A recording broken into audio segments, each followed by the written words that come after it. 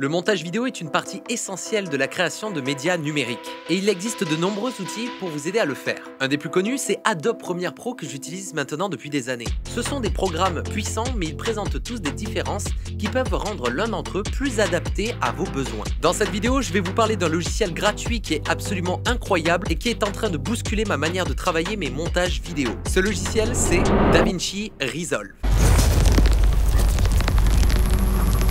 Choisir un bon logiciel de montage est une décision importante, car cela peut affecter votre productivité lors de vos réalisations vidéo. Vous devez trouver un programme qui vous convient et que vous pouvez utiliser confortablement. De plus, vous devez prendre en compte les fonctionnalités uniques proposées par chaque outil et comment elles peuvent s'adapter à votre méthode de travail. Il est donc essentiel de prendre le temps de vous renseigner sur les différentes options et de bien comprendre les avantages et les inconvénients de chacun des logiciels. Et comme j'aime très souvent le rappeler, il n'existe pas qu'une seule solution à vos besoins. Essayez d'explorer tout ce qu'il y a et vous trouverez le logiciel qui est parfait pour vos besoins de travail et votre échelle de production. Par exemple, moi j'utilise After Effects pour le compositing et Cinema 4D pour ma 3D, alors que peut-être à Hollywood ils vont utiliser Nuke, Maya et Houdini. Mais on travaille pas de la même manière. Moi je travaille avec les outils qui sont nickel pour moi. DaVinci Resolve, c'est quoi et ça vient d'où? DaVinci Resolve a commencé sa vie sous une forme très différente de celle que nous connaissons aujourd'hui. Il a été développé par l'entreprise américaine Vinci Systems et il était destiné à la correction colorimétrique des films hollywoodiens. À l'époque, il était l'une des seules solutions disponibles pour la correction des couleurs et il était très populaire auprès des professionnels. En 2009, Blackmagic Design a acheté DaVinci. Au fil des années, il a été enrichi de nouvelles fonctionnalités qui en ont fait un puissant outil de montage vidéo. En 2016, Blackmagic a lancé DaVinci Resolve 14 qui a encore amélioré les capacités de montage vidéo et d'édition de la version précédente. Et en 2018, DaVinci Resolve 15 a été lancé et est considéré comme le logiciel de montage le plus puissant et le plus polyvalent du marché. Bon, maintenant, on en est carrément à la version 18. Il y a des outils d'intelligence artificielle à l'intérieur, ça va trop vite. DaVinci Resolve est un logiciel extrêmement performant dans le montage vidéo et il a des concurrents assez haut de gamme aussi. Comme par exemple Adobe Premiere Pro, Vegas Pro, Final Cut Pro, Avid Media Composer, Natron, c'est un concurrent libre de Fusion et de Nuke. C'est un logiciel de compositing comme After Effects et Nuke, mais gratuit. Et Adobe After Effects. Voilà, au moins tu as le choix sur quoi choisir pour tes projets. Pourquoi mon envie de découvrir DaVinci Resolve?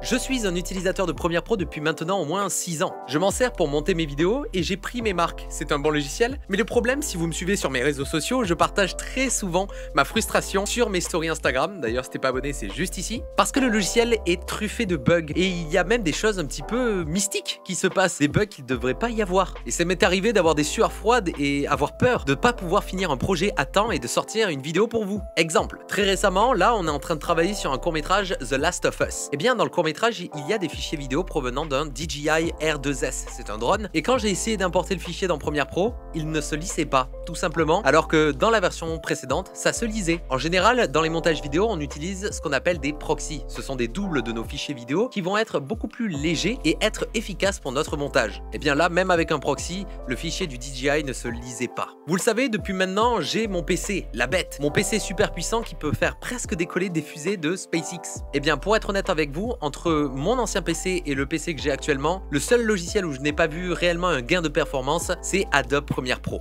Voilà pourquoi de plus en plus, je me suis senti dans l'obligation de casser ce que je connais de ce logiciel pour en trouver un nouveau qui soit plus en accord avec mes besoins de travail. Les choses incroyables du logiciel DaVinci Resolve.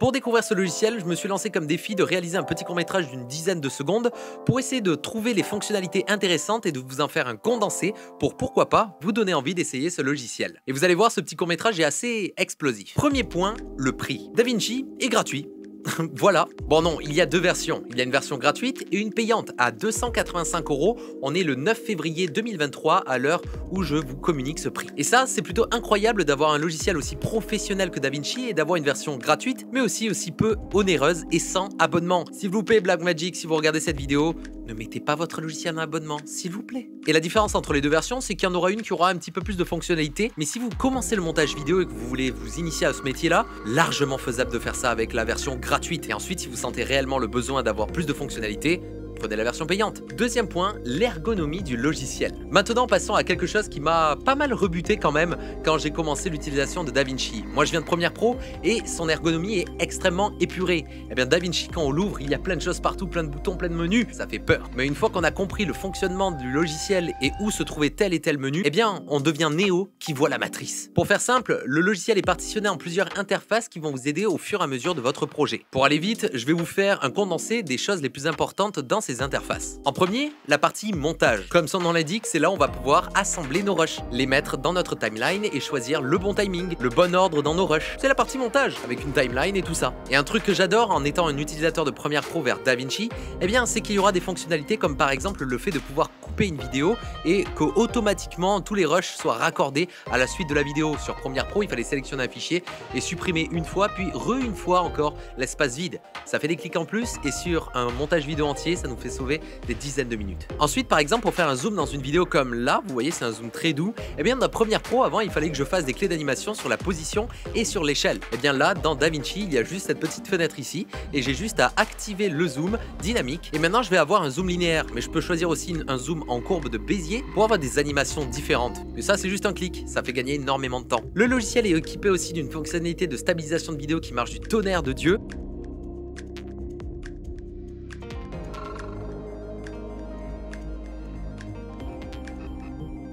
Ensuite, il y a l'onglet Fusion. Alors Fusion, c'est un petit peu comme Adobe After Effects. Mais moi, euh, je vous l'avoue, mon cœur est beaucoup trop fidèle à Adobe After Effects. C'est vraiment mon logiciel préféré. Alors ça va être un petit peu compliqué de vous parler de cette euh, page-là. Mais en gros, c'est comme After Effects, on va pouvoir rajouter des effets sur nos vidéos. D'ailleurs, c'est le moment parfait pour vous dire que dans DaVinci, on peut importer des titres, par exemple des presets de titres venant de développeurs tiers. Et ça tombe bien parce que moi, sur Premiere Pro, j'utilisais un pack qui s'appelle le Tokyo Motion Graphic Pack de Motion Can. Et c'est plein de titres déjà qui sont préconfigurés l'animation.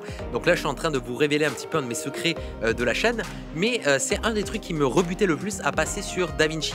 C'est le fait qu'il n'y avait pas ce pack-là qui fait partie de l'identité de la chaîne. Et ça tombe bien parce que je parle avec le développeur et il m'a annoncé qu'il faisait une version pour DaVinci. Et donc, je suis trop content de vous dire que cette vidéo est sponsorisée par MotionCan, qui permet d'avoir donc des titres incroyables. Le pack, si tu es intéressé, il est dans la description et il comprend plus de 2250 éléments. C'est fait à la main et c'est super simple d'utilisation. On va pouvoir sélectionner le titre qu'on veut et le déplacer dans notre timeline et faire les changements, comme par exemple ce qu'il y a décrit dans les titres, changer la couleur des éléments. Il y a 20 catégories d'éléments, et ce qu'il y a de trop bien, c'est que ça va s'adapter au ratio de votre image. Si vous travaillez sur par exemple un format story, eh bien il va se réadapter au format story. Si vous travaillez en 16 neuvième, il y aura un ratio horizontal. C'est beaucoup trop bien. Donc honnêtement, c'est le meilleur pack que vous pouvez trouver pour faire des titres. Il y en a énormément et donc c'est disponible maintenant pour Premiere Pro et DaVinci. Donc si vous êtes intéressé par ça, les liens sont dans la description. Tu as la version première et DaVinci. Donc merci beaucoup MotionCan de sponsoriser cette vidéo. Et maintenant, continuons sur DaVinci Resolve. Ensuite, il y aura l'onglet Color. Et c'est là un petit peu la puissance du logiciel de DaVinci. Je pense que tu dois le savoir, mais DaVinci est un logiciel extrêmement puissant sur la couleur. Moi, je viens de Adobe Premiere Pro et il y a un outil qui s'appelle Couleur Lumétrie à l'intérieur. Et eh bien, quand on passe sur DaVinci Resolve et qu'on utilise les outils de couleur de DaVinci Resolve, on sent que c'est construit pour la manipulation de couleurs. C'est fluide, c'est agréable, ça marche bien. On a un retour très rapide sur ce que l'on fait. C'est tellement agréable de travailler les couleurs sur ce logiciel-là, les gars. Ça fonctionne en nodal, c'est la petite fenêtre que tu vois là, et en gros, chaque nœud, c'est une opération de couleurs. Et tout à gauche, c'est la vidéo de base, et tout à droite, c'est le résultat final. Et donc, on va construire comme ça notre color correction pour avoir quelque chose d'abouti. Ce que j'adore avec les outils de color correction dans DaVinci Resolve, c'est qu'il y aura des trucs super intéressants, comme par exemple un outil comme le Roto Brush 2, où on va pouvoir sélectionner un sujet ou un objet, et il va faire un masque tout au long de la vidéo automatiquement. Ça marche super bien, et ça permet de faire des color correction super précises en fonction des éléments dans notre image. Un autre truc, c'est qu'il y a un nœud qui va générer une carte de profondeur, et on va pouvoir utiliser cette carte de profondeur de notre vidéo pour faire par exemple un effet de brouillard dans notre image. Ça marche trop bien et c'est directement de DaVinci. Alors que sur After Effects, il faudrait un plugin par exemple. Il y a tellement de choses que je pourrais aborder sur cet onglet Color, mais il n'y a pas le temps, sinon la vidéo va faire 50 heures. Ensuite, il y a l'onglet Fairlight. Fairlight, c'est l'endroit où on va pouvoir travailler notre son. C'est là où on va pouvoir rajouter des effets comme le chorus ou même charger des effets VST. Comme moi, j'utilise un bundle de plugins qui s'appelle Era. Donc c'est vraiment puissant, on peut faire vraiment une vidéo de A à Z, du montage jusqu'au son avec vraiment des outils professionnels. Encore une fois, gratuit, hein C'est fou. Et ensuite, l'onglet exportation. Et comme son nom l'indique, c'est pour exporter notre vidéo. Il y aura des presets un petit peu en fonction des réseaux sociaux, YouTube, Twitter. Bon, ça Premiere Pro là aussi. Mais ce qu'il y a de bien ici, c'est que tout est clair, tout est précis, avec des petits logos et tout. Ça, c'est des petits trucs du Wii qui sont super beaux, mais moi j'adore. Maintenant, parlons d'un autre truc dans le logiciel qui est vraiment pour moi le point le plus important et le plus cool qui va me faire passer sur ce logiciel là. C'est la stabilité et la vitesse. La stabilité du logiciel est incroyable et il est surtout extrêmement rapide. Que ça soit dans la timeline, on peut se déplacer très rapidement. Quand on vient de Premiere Pro et qu'on retourne sur DaVinci, on ressent vraiment une différence sur comment on travaille nos fichiers et nos montages vidéo. C'est vraiment le jour et la nuit et je m'arrache tellement moins les cheveux sur DaVinci Resolve. On sent que le logiciel utilise à fond les technologies d'aujourd'hui. Adobe Premiere Pro peine à utiliser le CPU. Il utilise donc le processeur pour faire tous ses calculs. Et eh bien là, avec DaVinci Resolve, il va utiliser le GPU, c'est la carte graphique. Et comme tu le sais, les calculs faits par le GPU vont beaucoup plus vite que les calculs faits par le CPU. Pour rappel, j'ai une 4090 plus deux 3090 et ça va super vite. Par exemple, pour le petit court métrage que je vais te montrer juste après, j'ai exporté ça en 38 secondes. Le court métrage fait à peu près une quarantaine de secondes et c'est extrêmement rapide parce que j'ai fait tellement de choses sur la couleur et plein d'autres effets, c'est impressionnant. Donc vraiment très gros point positif pour DaVinci Resolve, la stabilité et la vitesse. D'ailleurs là actuellement je suis en train de normalement monter cette vidéo avec DaVinci Resolve. C'est ma première vidéo YouTube que je monte avec DaVinci et je mets avec le petit graphique pack de chez Motion Can, un petit oui là qui s'affiche si je suis en train de me régaler au montage. Bon, maintenant ça y est, le montage est terminé et je vais pouvoir te montrer le résultat final de ce petit court métrage et on se retrouve après pour la conclusion.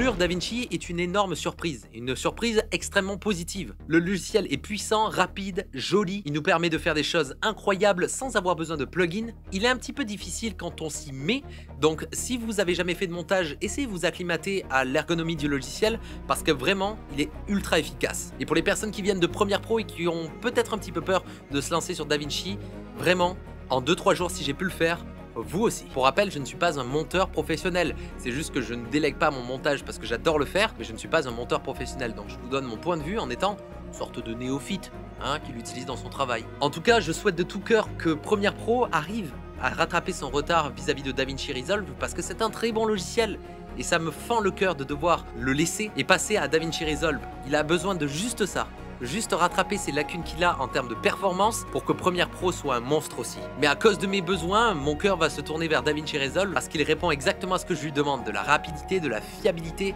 je lui fais entièrement confiance pour sortir mes vidéos dans le rush. Comme celle-là par exemple, là c'est le rush hein, les gars.